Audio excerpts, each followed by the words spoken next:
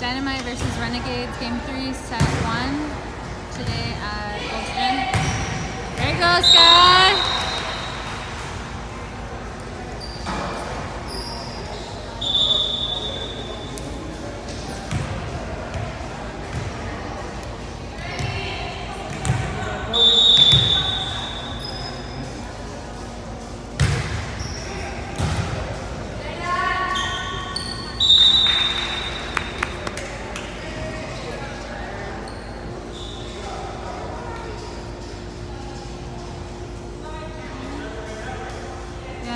Serving.